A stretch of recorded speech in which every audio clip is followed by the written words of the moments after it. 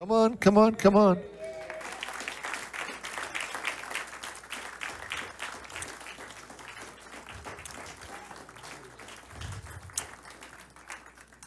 So, for over 30 years, this woman has been our office manager. She knows where all the skeletons are buried in this ministry. She has, she has been a volunteer, she's been a board member, she's been our bookkeeper. She has just done an incredible job. I think the count is you have, did you keep work with all all eight of the ministers or six of the eight? How many of the ministers have you? Okay. She was last hired by Tom Catlin over 30 years ago to be the to be the office manager. She has just done an incredible job for our ministry all these years. Today the flowers are in your honor. And so we love you, we bless you, and we truly appreciate you. You're downstairs. Um, if there's a reception after this, it's a lovely reception. There are big cards on each of the tables. You can write a blessing to her. Um, Sandy, we just love you. You. Uh,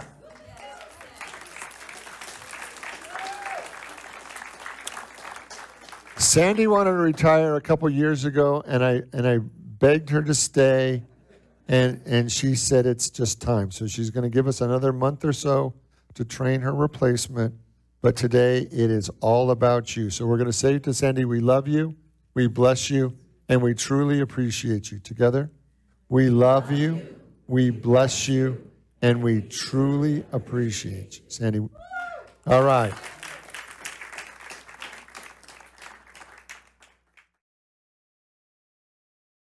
So I invite you to join me in this time of prayer and meditation. Take a deep breath and feel the presence of God.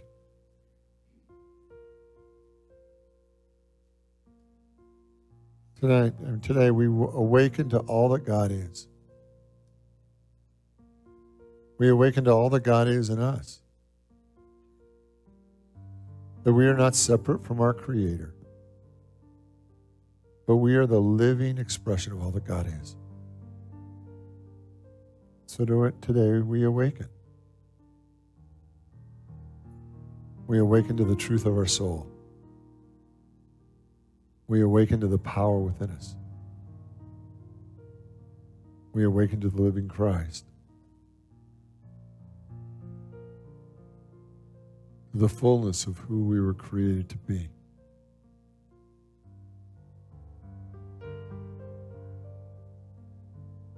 You were created in the image and likeness of God.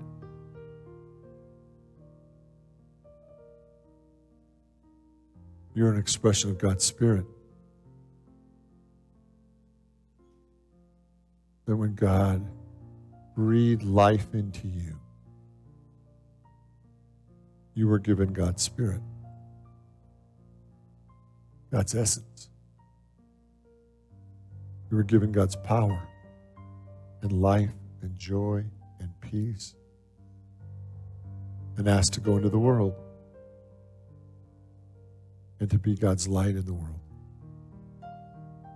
to be God's love in the world to be God's hands and God's feet. And your soul said, Yes. I am willing to express all that God is in me. I'm willing to love, and to heal, and to bless, and to transform every worldly situation. To bring my essence, my power, my love, my joy to work for the good of myself and for the good of all.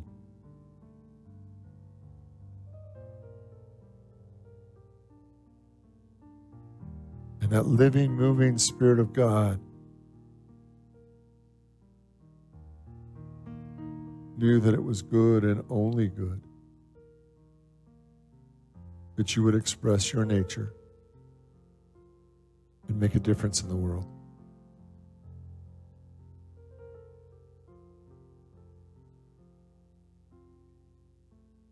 So today we say yes to God. Tonight, today, we say yes to that presence, to that power. We say yes to our mission and our purpose. To bring light and love and joy to the world, to bear God's Spirit, to be God's instrument, to be the living expression of all that God is, to follow in the footsteps of Jesus Christ and be a light unto the world.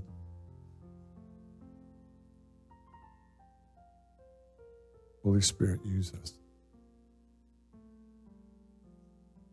Lift us higher. Awaken all that we are meant to be.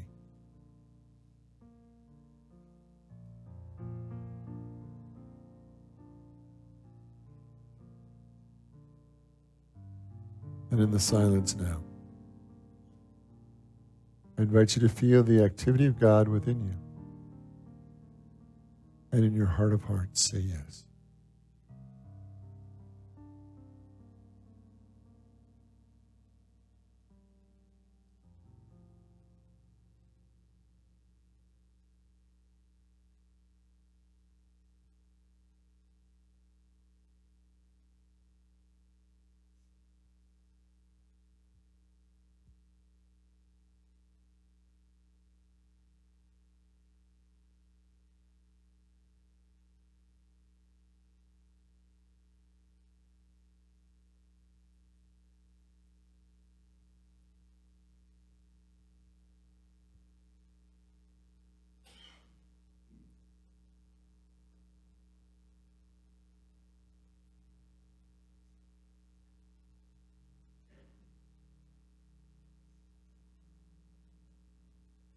God. Thank you, God, for this day. Thank you, God, for your spirit that goes before me, for your blessings too numerous to name, for all that you are, God, all that you are in me and all that you are in the world. I say thank you. Thank you, thank you, thank you. And so it is. Amen.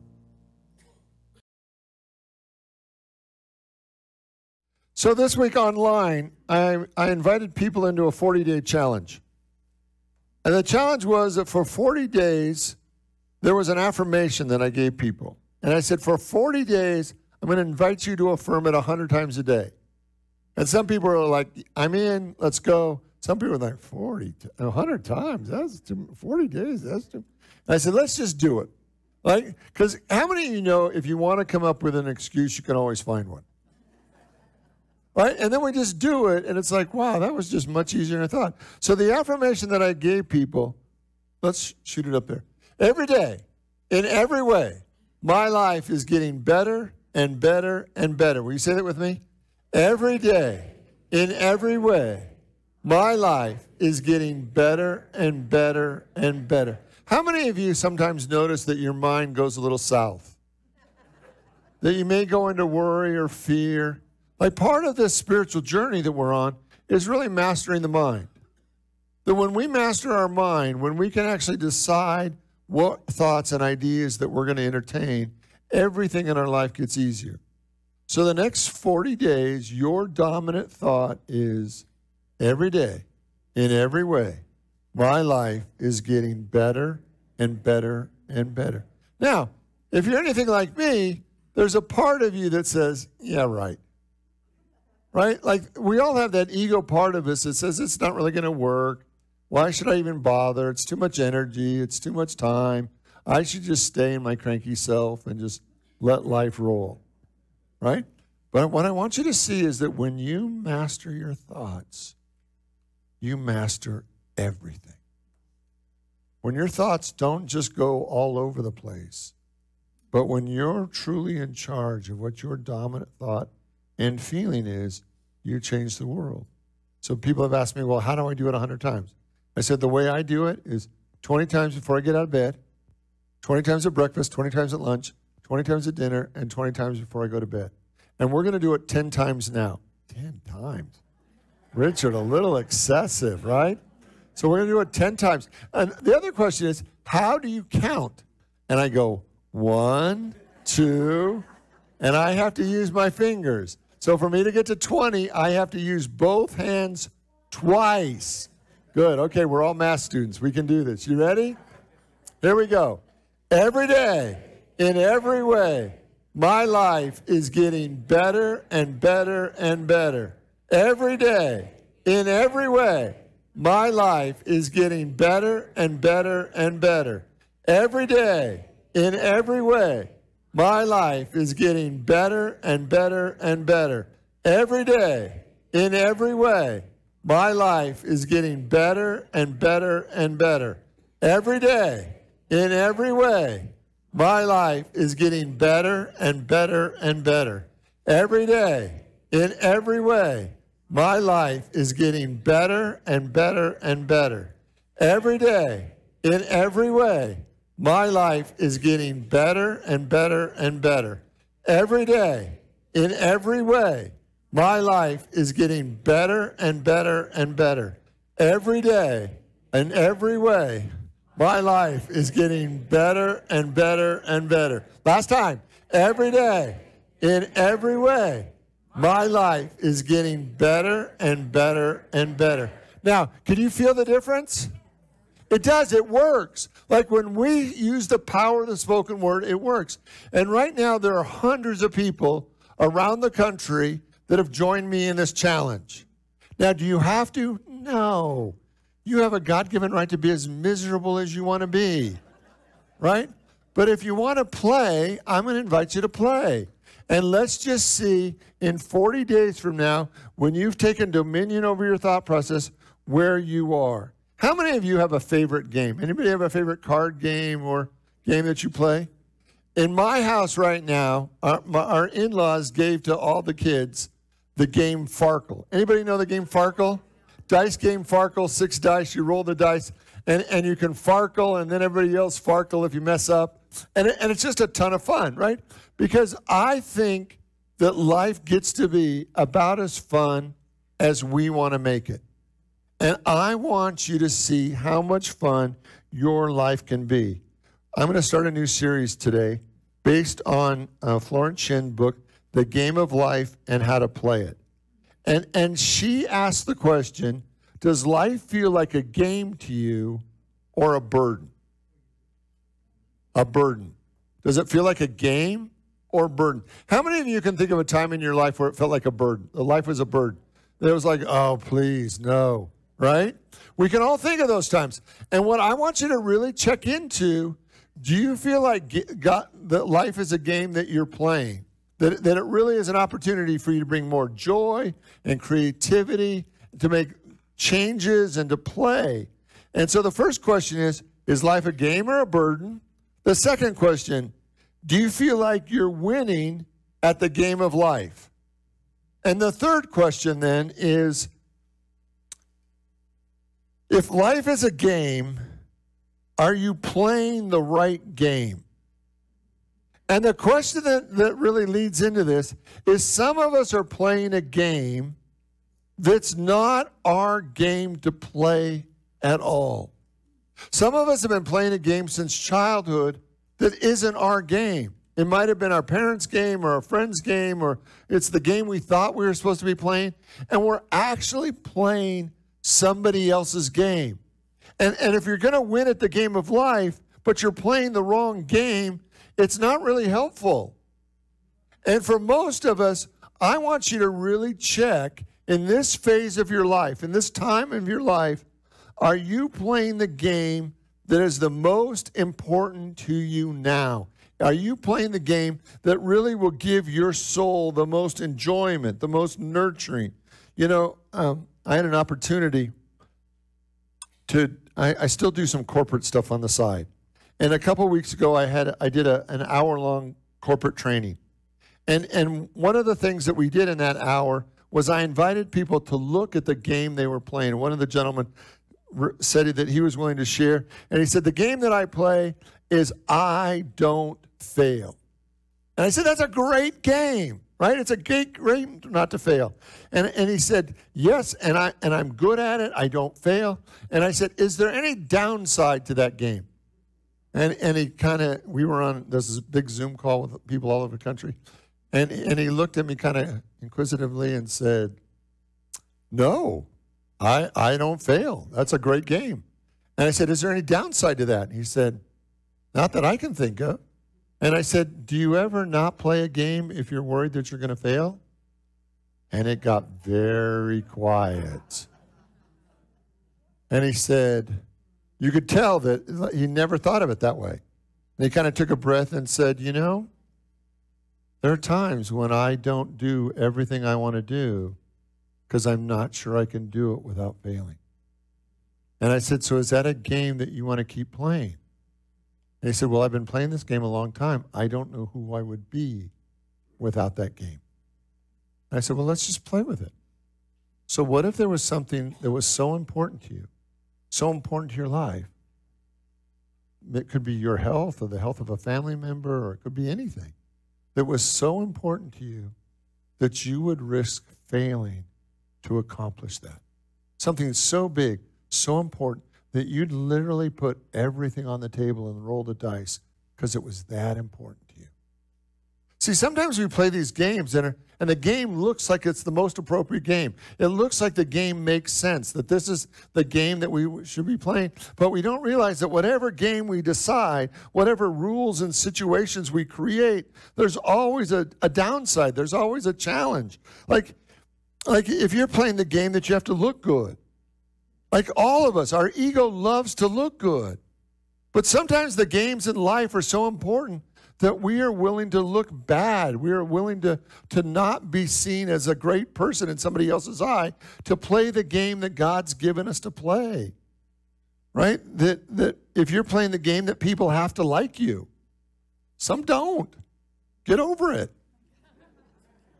Right? It's, is that true? Do some, does everybody love you? I'm sure they do. Like who would, right? But sometimes they don't. And, it, and if every time you play the game, everybody has to like you, that's a weird game. Because sometimes you're not actually doing the most important thing because you're so worried about if everyone likes you. Or what if you have to play the game, I have to be right? Like if you always have to be right, how much fun are you at parties? Right? What I've noticed about people that always have to be right is they tend to get louder when they're wrong. Right? And they get louder and louder to assert how right they are.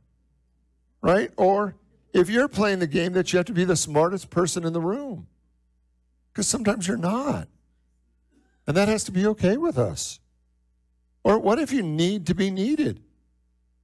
And what if your need to be needed is your game? And what if your need to be needed keeps you actually from doing the work that God is calling you to do because you're so focused on everybody else, you're not doing your work. See, over and over again, I want us to start from the beginning. Like, what is the game that you're playing? And just because you've been playing it for a long time, just because you're wildly successful at it, doesn't mean it's really your game. Just because you're good at it doesn't mean you need to keep doing it. And what if you stopped? My coaching clients, one of the things I ask them is, is when you were a kid, how did you become successful? Like when you were three or four or five in your family, how did you become successful? And if people think about it long enough, they can usually say, well, I was, you know, I, I, I was kind, or I was smart, or I was this, or I was that, and that's how I learned to be successful.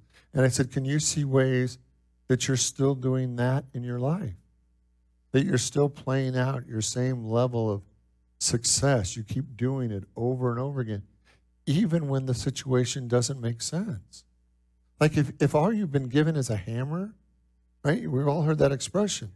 Then everything is a it's a nail. But if you have a hammer and a screwdriver and a pair of pliers, you've got more tools. I want you to clearly see how you've been successful in your life.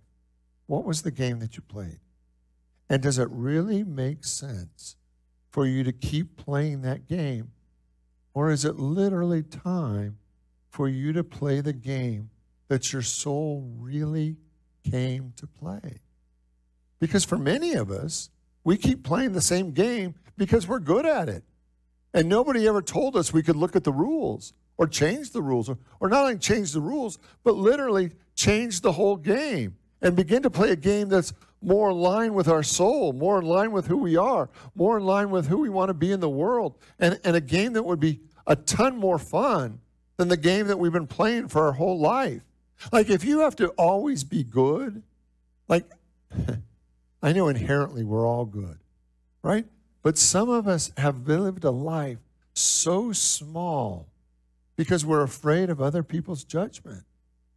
And what if you're at a point in your life now where you get to play your game, your live your life, and be the man or woman that you literally came to be, that God created you from the beginning?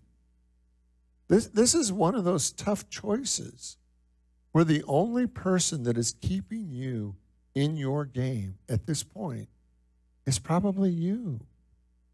But I don't know who I would be if I started to play another game. I don't know who would be if I didn't win in the way that I know how to win. Let's find out. Let's put it to the test. See, there are three natural laws that I want to call your attention to. The first natural law is that energy is infinite, right? That there is an infinite amount of energy.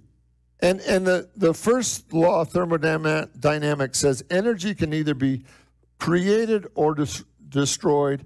It can only change forms. And then it goes on to say, and I really want you to hear this next line the total amount of energy and matter in the universe remains constant, merely changing from one form to another. Now, why is that important? Well, by definition, what that means is that energy really isn't infinite.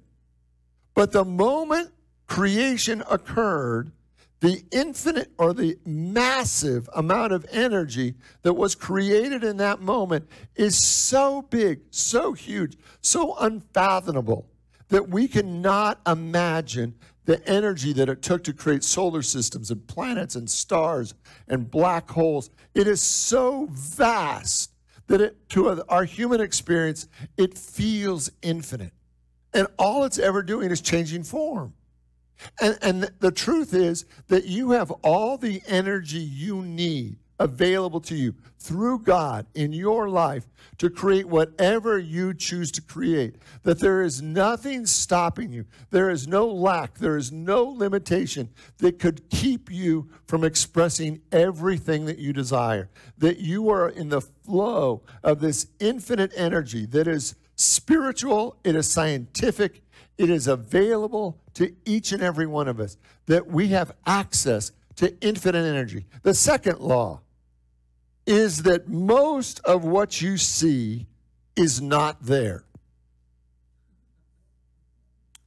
Right? Most of what you see is not there. Most of everything is nothing. You can, quote me on that, right? Like if you see this podium, looks solid, feels solid, most of this podium is nothing right? It's atom, it's molecules, it's electrons, it's protons, it's neutrons. Most of this is nothing. Now, how it's space, it's emptiness, right? And now why is that advantage to you? Well, every obstacle, every challenge, every problem that you will ever see, most of it is nothing. It looks real. It looks scary. It looks overwhelming. It looks frightening. It looks whatever it looks, but most of it is nothing. It's nothing. And that nothingness is actually keeping you from creating a greater vision of your life, to creating the next version of you. That we have this infinite power and we're in a, in a universe that will actually be whatever we want it to be. And the third principle that I want to talk to you about as I'm as I'm kind of science geeking out is that each person is completely creating their own reality that each and every one of us is creating our own reality based on the first two principles. Given all the, this infinite energy and that most of everything is nothing, with those two, every one of us is creating our own reality. And, and none of those two realities look the same. Even the reality of your loved ones and your friends and your family. Not two realities are ever identical. That you've created a reality that's completely distinctly your reality. You might have been inspired by somebody else's reality, it might mirror or celebrate somebody else's reality, but it's uniquely your reality. And your reality is created by, by what you believe, think, and expect. I'm going to go one deeper level of geeking out. When, when they began to study subatomic matter, what they found out was that subatomic matter operated from two principles. It could either be a wave or it could be a particle. And the way that it showed up was defined by the person that was observing it. So if the person observing it believed that it was going to show up as a wave, guess what it showed up as? A wave. If they believed that it was going to be a particle, guess what it showed up as? A particle. And I want you to see how incredible your universe is, that your universe will show up in exactly the way you expect it to show up. It will actually present itself in front of you based on what you believe and that all we're ever doing in life is playing this game. And sometimes the game that we play is I'm going to play a game where I'm always the victim. It's not a lot of fun, right? But we can play that game where every situation victimizes you, where every person that comes along takes advantage of you, where every moment is harder than the moment uh, behind it. And over and over again, it's just tough. Or you can play the game that you're always a winner, right? And then there's then something happens because life is constantly evolving and even in those games they evolve so that you have to grow and change because the universe is not static. Every day in every way my life is getting better and better and better. One more time. Every day in every way my life is getting better and better and better. Let's look at scripture. Galatians 6 7 says, Do not be deceived, for God is not mocked. I love that. Boom, boom. Do not be deceived. God is not mocked. For whatever a man soweth, he shall also reap. Like, that's no nonsense. Whatever you put into life, whatever thoughts and beliefs you hold on to, whatever your intention is, whatever you sow in your heart is what you will reap 100% of the time. What you put out there comes back to you over and over again. So if you don't like the game that you're playing, we have to change what we're putting out into the universe. We have to change our beliefs. We have to change our expectation because the inner part of us, the inner man, the inner person creates the outer experience. Proverbs 4:23. Keep your heart with all vigilance, for from it flows the spring of life. So what you believe in your heart is done unto you. And as we change that, we change our life. We change what happens to us. I want to read from Florence Shinn. A woman came to me and asked me to speak the word. No, this is the wrong one. You'll have to read that one on your own. We have copies downstairs. Here it is. A woman came to me one hot summer day for a treatment for prosperity. She was worn out, dejected, discouraged. She said she possessed $8 and that was all she had in the world. And I said, Good. God will bless that $8 and multiply them as Jesus Christ multiplied the loaves and the fishes. He taught that every man had the power to bless and multiply, to heal, to prosper. She said, What shall I do next? And I replied, Follow your intuition. Have you a hunch? Do, does anything come to your mind or anything anywhere? The woman replied, I don't know. I seem to have a hunch to go home. I just have enough money for car fare. Her home was in a distant city, one that lack with lack and limitation. And the reasoning mind, the intellect would have said, stay in New York, get work, and make your money here. And I replied, then go home. Never violate a hunch. I spoke the word to her. Infinite Spirit opened the way for great abundance for her. And she left And, and I told her to repeat it constantly. She left that for home immediately and called me a few days later and had linked up with an old friend of her family. Through this friend, she received thousands of dollars in a most mysterious and miraculous way. She said to me often, Tell your people about the woman who came to you with $8 and a hunch. Right?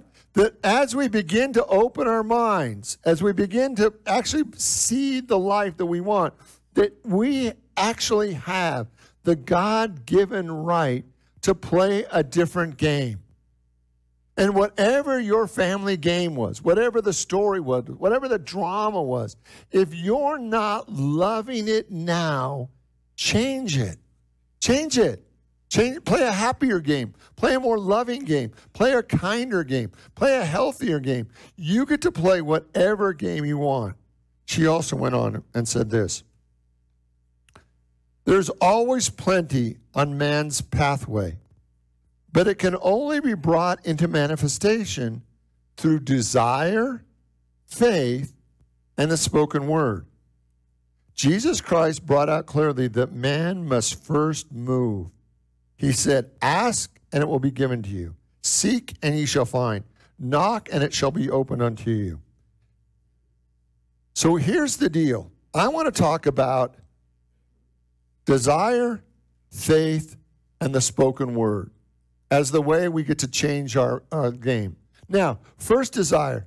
How many of you, when you hear the word desire, make it a personal thing about you? Most of us, when we think about desire, we think about my desires.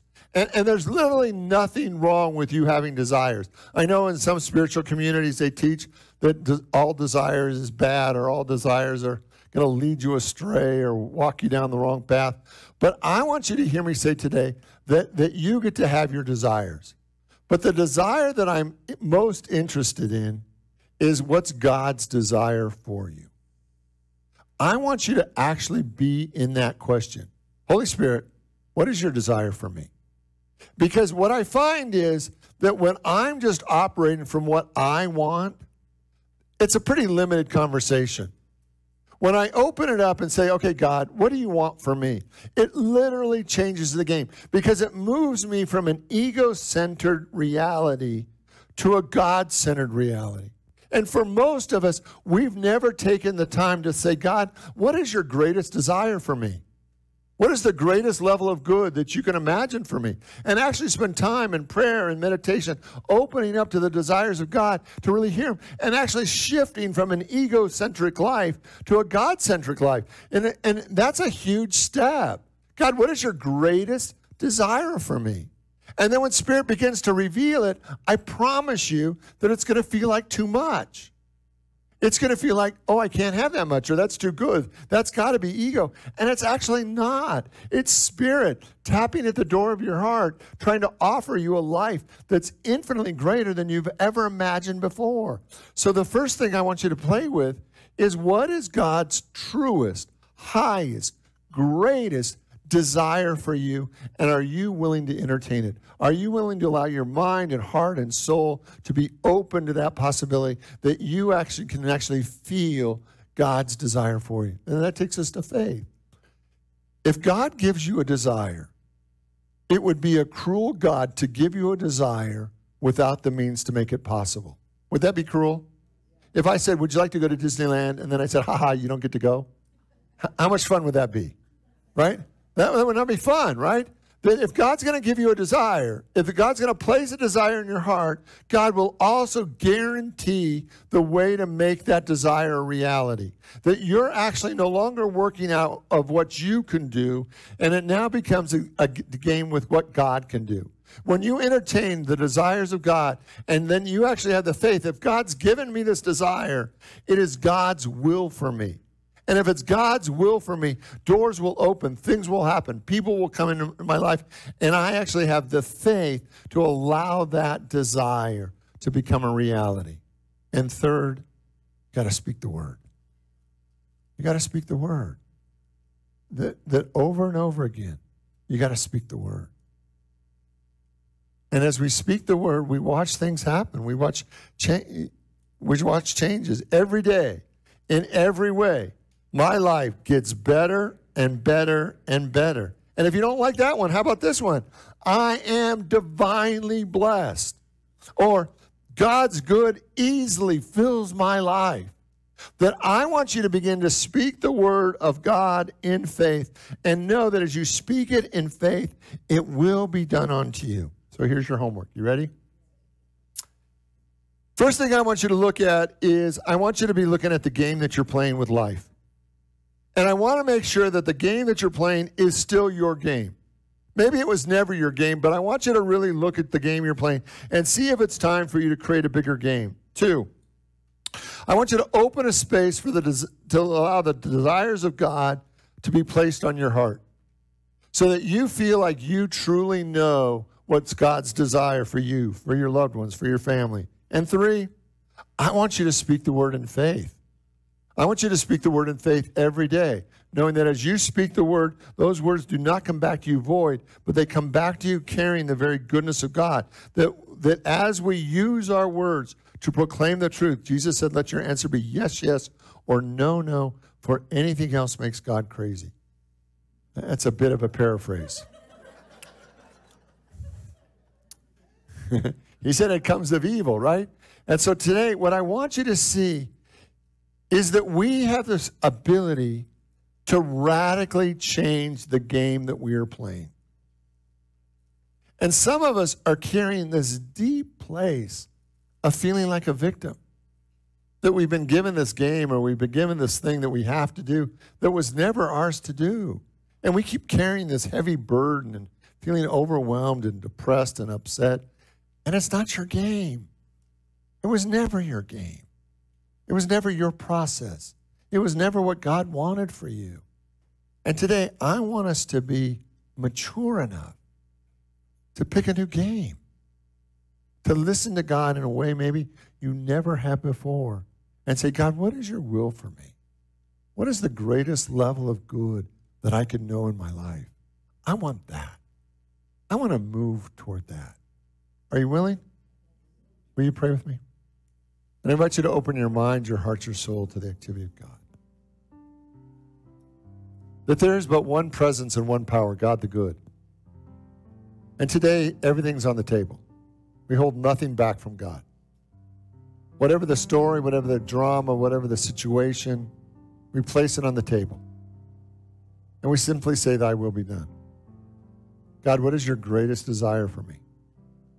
What is the life that you offer me? And what if I said yes? What if you revealed a level of life, a level of good that was greater than I've ever known before? Today I say yes. I say yes. I say yes. And in the name and in the power of the living Christ, in the awareness of Jesus Christ who stands right next to you today, we say thank you, God. And so it is.